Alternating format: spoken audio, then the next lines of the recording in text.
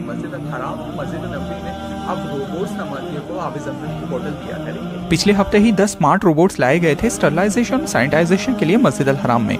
ये रोबोट्स मस्जिद अल हरम के मुख्तलिफ़ हिस्सों में जाकर नमाजियों को आब जमजम की बॉटल्स देंगे। इन रोबोट्स का इनोग्रेशन मस्जिद अल हराम और मस्जिद अल नबी के president doctor Abdulrahman Abdul Aziz al Sudais ने किया। डॉक्टर अब्दुलरहमान अल सुदैस ने कहा कि हमें मॉडर्न टेक्नोलॉजी का फ़ायदा लेना चाहिए, खासकर कोरोना वायरस के वक्त में, जहाँ हर एक ह्यूमन टच मायने रखता है।